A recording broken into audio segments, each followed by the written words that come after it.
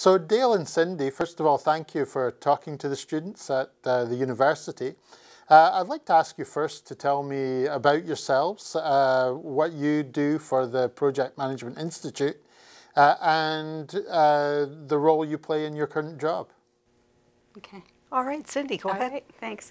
Um, so I am the president of the chapter for the PMI CTT local chapter um, and the CEO. So my responsibility there is to the overall governance and operations of the chapter. And then at work, I am the program director for the Flood Initiative. It's one of the strategic initiatives that our organization is implementing. Interesting, thank you. And uh, Dale? I, I am presently the uh, director of the professional development portfolio, and uh, part of uh, the work that I do involves the event organization and management. We also look after certification of project managers, recertification, and uh, we also have a mentoring program, and that all falls under my portfolio. And during the day, I am the program manager for Enterprise Service Management Office at the Cooperators. So, Oh, you're very busy. yes. Okay, so can you just introduce the Project Management Institute uh, for the students and uh, uh, tell them what it does? Certainly. The Project Management Institute is a, is a global organization. It is the world's um, largest um, professional development membership association to deal with project portfolio and program management. So what it does is it, it helps members get education in that field as well as help them to connect and collaborate with other people in the world that are interested in that same field. Thank you. And so, why are project management skills important today? Why are these skills important ones for students to learn? Well, they're very important because projects, almost everything is done as a project in business today. I, I remember going back many years when I first began in project management, and a gentleman by the name of Peter, Peter Drucker, who is, uh, I'll call him a, a futurist, I actually predicted that in future everything would be project work, and I would have to say he was right on. So those skills are really important as young people begin to enter the workforce, and it will certainly provide them the skills they need to excel. Wonderful. And why should students join the Project Management Institute and, and how do they do that? Well, how they join the Project Management Institute, you can log on to www.pmi.org and uh, they will guide you through the process. There are uh, specific uh, student rates and uh, it's a great opportunity to not only find out more about project management, but to be able to connect with local chapters such as our own and begin to network, find mentors, and really understand if that's uh, a profession or a direction that you'd like to take in your career. Great. And uh, what's the role of the local chapter of the PMI?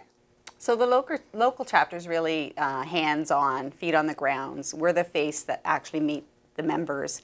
Um, we offer uh, education and, and things like that as well, as, as well as collaboration and actually allowing them to, to network with people that are in their local community. So from a student's perspective, it's probably really good to join a chapter because you get to meet pe people and network with them. And if it's something you want to do, you can actually meet people who would try to mentor you or help you along in your career. So it's, it's, a, it's a great opportunity that way from a chapter to have uh, the interaction with the chapter members. Thank you. So for students and at universities and colleges, this is a uh, this would seem to be a very good thing.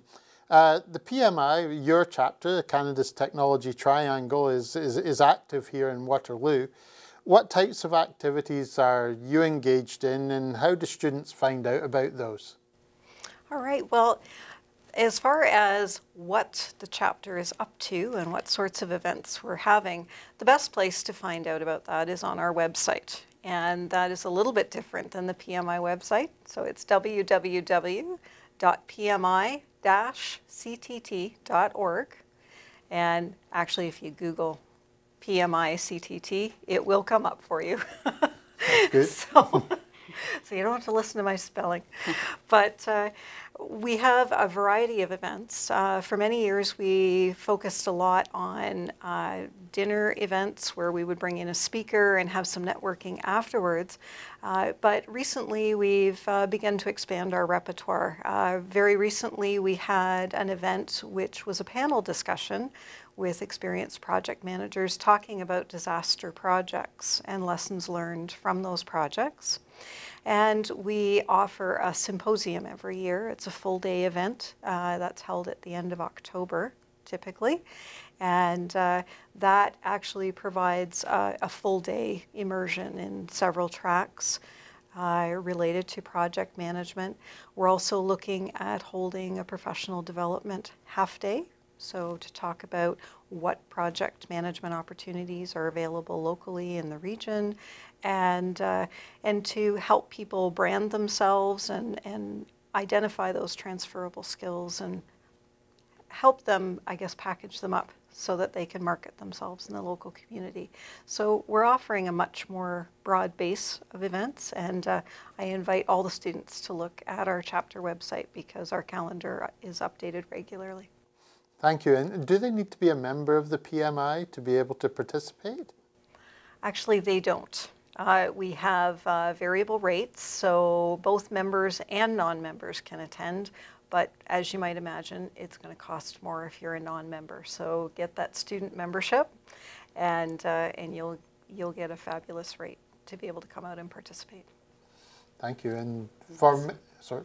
I was going to say yes. It's actually probably cheaper if they end up getting a membership because if they're going to come to three or four events, they'll save the membership fees by becoming a member. Absolutely. And it's very affordable to become a student member, so that's probably very something affordable. they should think about. Yes, absolutely. Okay, thank you. And they may also be thinking about becoming a project management uh, professional as, pa as part of their career goals. Um, what, what, what, how, what do they do to become a project management professional? So the PMP designation is a process. Uh, it involves both education as well as an experiential component, and that varies a little bit with uh, the level of education that you have. If you have a post-secondary degree, uh, you require uh, 35 contact hours of project management training, as well as uh, 6,500 hours of experience as a project manager. And uh, if you have uh, an advanced degree, such as a, a, graduate or master's, that requirement goes down to 4,000 hours, um, in addition to the 35 hours of contact time and uh, in your degree. Thank you. Now, I'm also aware there is the Certified Associate in Project Management, which is another possibility for students. Uh, how do they achieve that and why might it be valuable to them? Well, the CAPM is an excellent entry-level uh, certification to get in project management. As opposed to the PMP, or the full project management professional designation, which focuses on the entire 12 areas of uh, expertise as outlined in the project management body of knowledge that the PMI publishes and updates.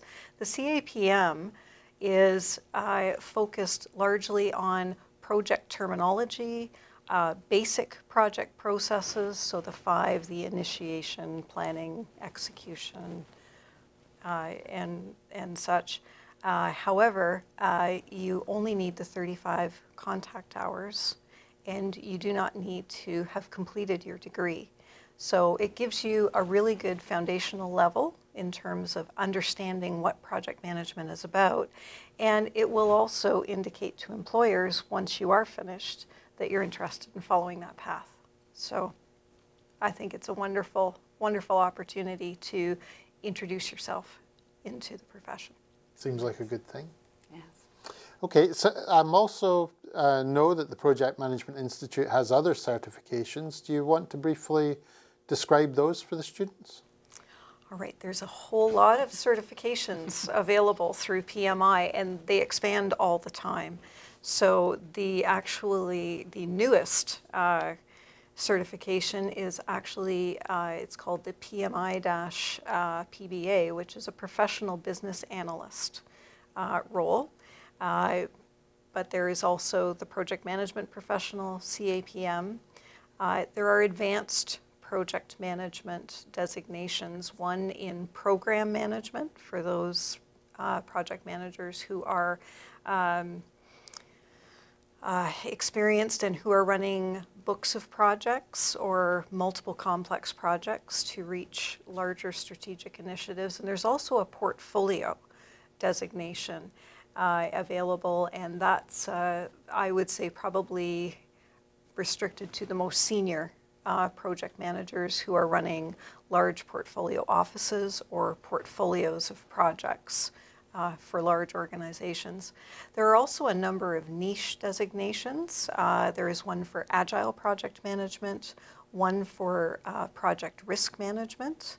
There is a scheduling designation, and as well the uh, the business analyst. And Cyndi, I'm not sure if I've forgotten any. I don't think Thank you. so.